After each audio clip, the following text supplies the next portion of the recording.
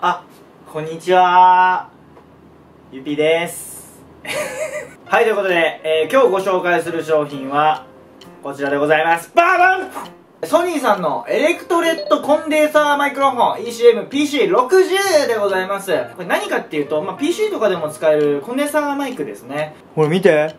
すーごいこれ。ちっちゃいんすよ、このマイクほら。ちっちゃいの。で、これちっちゃいから、ピンマイクにもなるんですよ。ピンマイク。クリップもついてるしね、ピンマイクになります。で、僕ね、これからね、なんか外ロケとかも結構あったりするんで、まあ、こういうピンマイクがあると意外と楽なのかなということで、こちらを購入しました。で、もちろんこうやってスタンドもついてるから、こうポッと置いてね、あの、ゲーム実況とか、スカイプとかね、そういうのでも使えるとは思うんですけど、僕もね、一応ダイナミックマイク、結構前に紹介したんですけれども、そちらのマイク使ってるんで、まあ、ピンマイクとしての用途で僕は使おうかなと思ってます。じゃあ早速開けてみましょう。おおちっちゃいなこれ。ほらほら見て。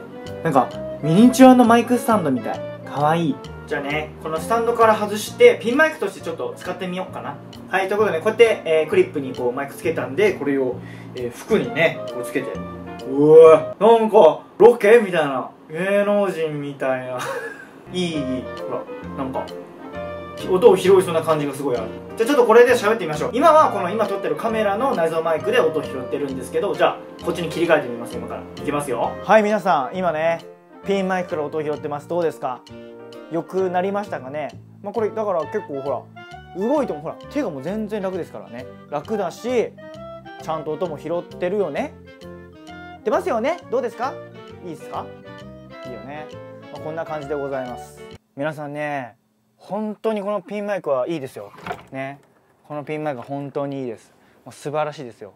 なぜならもうこうやって隠れた場所からでも音を拾える。ね。カメラから離れたところでも音を拾えるのがこのピンマイクです。皆さん買ってみてね。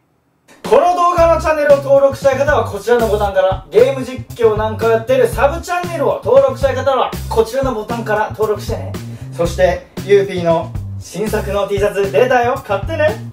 おお